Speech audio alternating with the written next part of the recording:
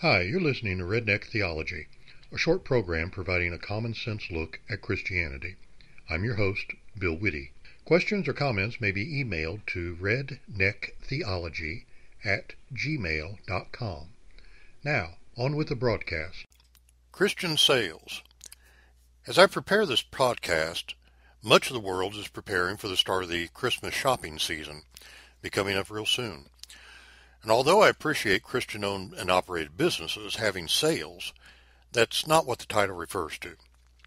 Christianity, and I use the term in the broadest of applications here, suffers from the grand confusion surrounding sales. I refer to the merchandising of Christianity in the church. More often than I care to remember, I've heard remarks about money-making aspect of various, quote, ministries. One only needs a short period of interaction with what I'll call the unchurched before some referencing to a church, ministry, preacher, or other figure of Christianity just looking for money comes up. Much of the American public view the church as money hungry. We'll never live up to the expectations of everyone, but we need to be honest. Those who view the church as out to get their money arrived at that opinion for a reason. While it's true that someone will always find fault, and some people continually look for reasons to complain and or justify themselves, we Christians are responsible for much of the problem. Recognizing this might help in understanding that many people aren't trying to place blame as much as they are venting frustration and expressing confusion. See, we tell the world Jesus is the answer to all their problems and our problems. We tell them how we trust God for everything. We attempt to convince others that all they need is Jesus and that he will supply all their needs. And if they'll just turn their lives over to him, that he'll take care of all these things for them. And all these promises have a scriptural basis. Often we quote biblical texts to prove what we're saying is true. We know how God has met our needs. We may even give examples from our own lives. So what's the problem? Those we're telling these things to get confused. When they see things in our lives they don't believe match up to what we say. Not everyone who's a Christian shares the same degree of growth and or experience. Not everyone who is a Christian comes from the same background. Not all have the same needs. And on top of that, not everyone who says they are a Christian agrees on what it means to wear the label. Even those that do agree may vary in just how dedicated they are to the principles they claim to believe in. If we expect to share the truth of the gospel with those needing to accept it, we must understand why so many feel the church is greedy. I recently happened across a religious broadcast. It was hosted by someone I didn't even realize was still on the air. I never followed this person's broadcast, but I was familiar with it. I'd seen it from time to time, and it seemed like their ministry was always trying to guilt people into giving. Now, I'm sure that wasn't how they viewed it, but that's how it came across to me. The program was always full of special offers or uh, gifts that were given in exchange for a specific offering. As a young Christian, it never made a lot of sense to me to tell people how badly they needed a particular tape or a book or a CD that was available. And then how everyone ought to have it and how it would change their life and then require a so-called gift in order to receive it. I noticed the last 11 minutes of a program that I happened on this morning were spent telling people how much of a blessing they would receive just as soon as they committed to sending $300. That was the last 11 minutes of a 30 minute broadcast. Somehow I suspect this wasn't the first mention of it during the broadcast. Now, I admit I didn't see the start or the middle of it. What I did see sounded like a guarantee of prosperity in return for a specific amount of money. Why wouldn't anyone send in $300 if they believed God was somehow now obligated to repay them 10 times that amount? Why wouldn't they? The airwaves and the internet are full of men and women promoting special offers of such things as uh, for instance, sacred anointing oil mixed by a special biblical formula and had just a little touch of red color to it. Or specially blessed Peter and Paul napkin holders. They're made from olive wood, and the olive wood is from the trees growing in the heart of the Holy Land. Perhaps you'd rather have a, a prayer shawl crafted from cloth manufactured right in Jerusalem. Then there's always the limited time offers for books, CDs, DVDs, MP3s, and you know other items that every Christian just absolutely needs. Of course, then there's always the outright request for money. But even then, just asking for you to consider donating to help keep them on the air often comes with the assurance that they're just going to have to curtail the broadcast in your area if you don't help. Several of these folks support overseas works, which they show pictures and videos of while telling how listeners just can't call themselves Christians if they go to bed without sending some money to support the project to buy beds for those who don't have any. The list is endless. Sadly, many shysters and profiteers get lumped in together with those truly trying to do a good godly work. We end up seeing the resulting confusion. People don't understand why, if God supplies all the need, that they should be responsible for supporting a ministry or broadcast. Why should the local pastor have to stand in a pulpit saying that they can't pay the electric bill? The Bible does spell out how Christians are to give. Ministers do need to teach and preach proper doctrine, including giving of tithes and offerings.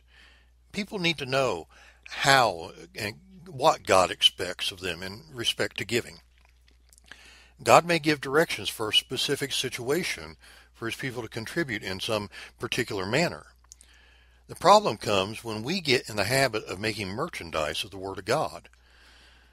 I can call it an offering or I can call it a gift. But if I require a specific amount from you in order for me to let you have something from me, we've agreed on a transaction. And basically, I've sold you something. If I promise to place your name on a, a brick or a pew or a wall plaque or some other display of generous supporters, I've appealed to your vanity and pride rather than encouraging you to give quietly. I'm not saying preachers should never teach about giving. I'm not saying they should never ask for donations. But we need to give proper instruction about what the Bible says about finances. And we also need to practice what we preach. We never see anywhere in Scripture that Jesus sold anything. Undoubtedly, people gave to his work. I mean, why else would he have to have a treasurer? You know, that fellow Judas? Well, I don't want to get on to anybody about giving. The point I'm trying to make is that people who look at the church as trying to get their money have experienced some hurt, and no doubt have seen some charlatans parading around as righteous, upstanding Christians. It's hard for them to separate the pastor teaching his congregation the right ways and attitudes about giving from the guy on TV, radio, or the internet promising you'll see a miracle in the morning if you just send him $50 tonight. It's even more difficult for many to understand when the person asking for their money owns multiple mansions, airplanes, expensive cars, and appears to live far beyond the means of most of their audience. Should they live in poverty? No, no, no, no, not at all. It's fine for God's people to, to prosper. And it's fine for people to see that God blesses those who do his work. It's also fine for those truly doing his work to live like normal, everyday people. Many of these preachers do in fact give large amounts back into the work and to other works. Many live quite comfortably without being excessive. Many quietly assist others in the background in ways that we never hear anything about. Perhaps some of you who are listening right now have been hurt in a church type situation. Maybe you've seen TV preachers that, well, they seem to be more like carnival barkers than ministers of the gospel or salesmen. My goal is not to try to convince you that they're doing right or wrong. God knows their heart and intent. Their works and actions either align with Scripture or they don't. What I'm hoping is that you'll simply entertain the thought that possibly much of what they preach could be true and correct, even though it's mixed with some pretty questionable tactics. Standing up for certain principles in the Bible doesn't make it right to ignore others. It's also true that violating some teachings doesn't make all the teachings wrong. One person may possess a great understanding of prophecy, but at the same time not grasp the idea that God still heals the sick. Another might be able to explain how to overcome depression and, live in joy while lacking the most basic understanding of how to treat his or her spouse properly. Not everyone learns the same lessons at the same point in their life as other people. One well-known Bible verse states that the love of money is the root of all evil. It doesn't say money's evil. Nothing's evil about money. What we do to get it, keep it, and how we use it is where evil enters. The same verse that talks about the love of money being the root of all evil goes on to say that some have longed for it so much that they have turned from the faith or the truth of God and brought many sorrows upon themselves. If you want to read about it, look in the sixth chapter of the book of First Timothy. As a matter of fact, that warning was given to a young pastor. It went on to advise him to flee that kind of life and way of thinking and seek after righteousness, godliness, faith, love, patience, and meekness. He was instructed to put a greater emphasis on faith. Some have started out preaching the word and gotten sidetracked by money and fame and other types of riches. The truth contained in the Bible remains true, even if spoken by the devil himself. Daily, people reject the invitation to turn their lives over to God because of something that they've seen done wrong in a church or by a minister.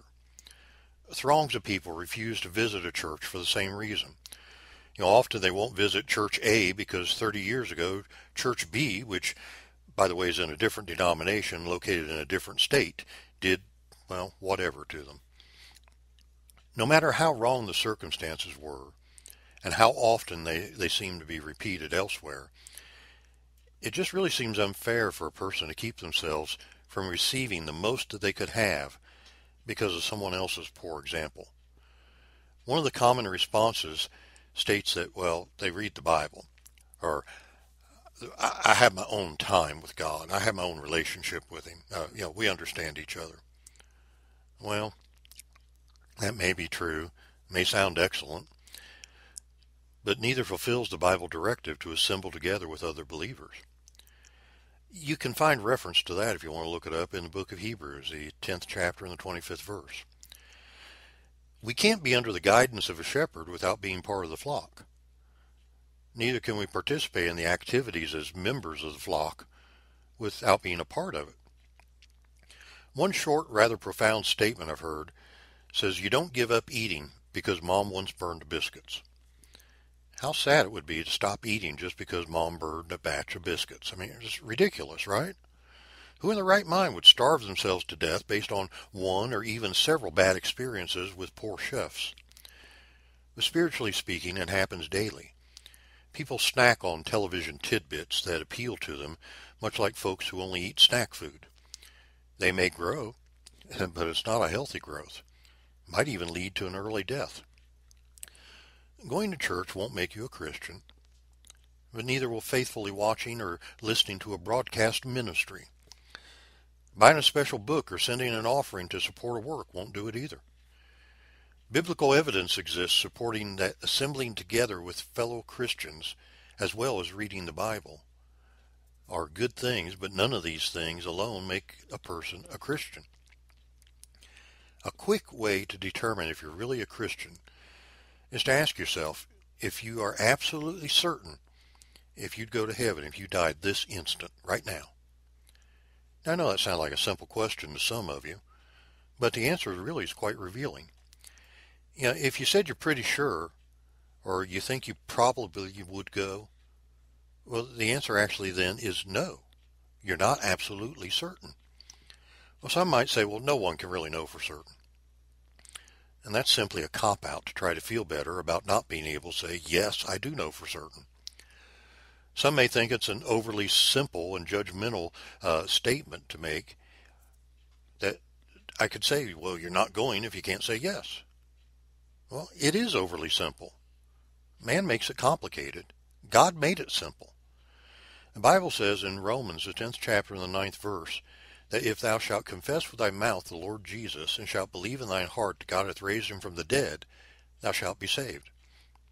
It doesn't get much simpler than that. You don't have to send an offering, special gift, or buy anything.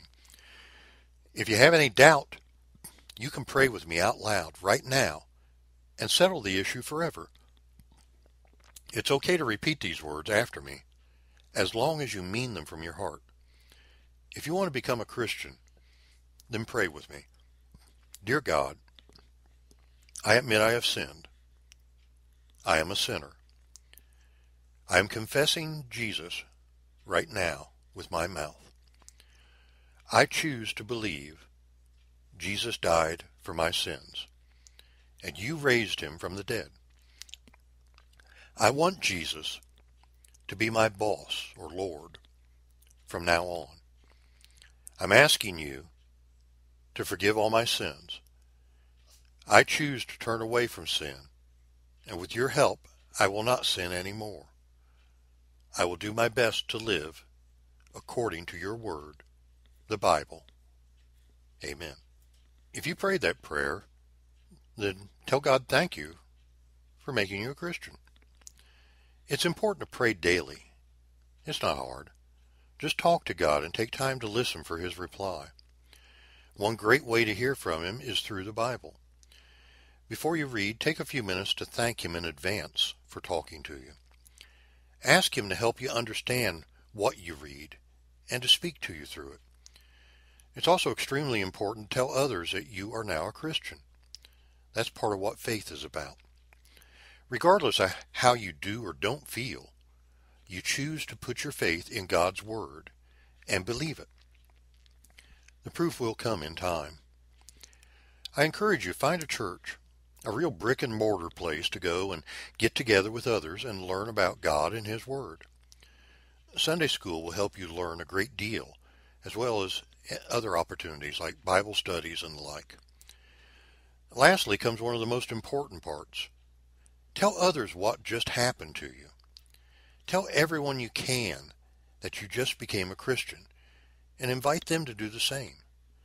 You can lead them in a prayer similar to the one you just prayed. You have the authority to go forth and spread the gospel. Jesus said in the book of Mark, the 16th chapter and verse 15, Go ye into all the world and preach the gospel to every creature. You have his authority to do so. Freely sharing how you became a Christian is the ultimate product. It's the true Christian sale. That's our program for today. I'm Bill Witte, thanking you for listening to Redneck Theology. Your questions or comments may be emailed to rednecktheology at gmail.com. Please join me again next time for more Redneck Theology.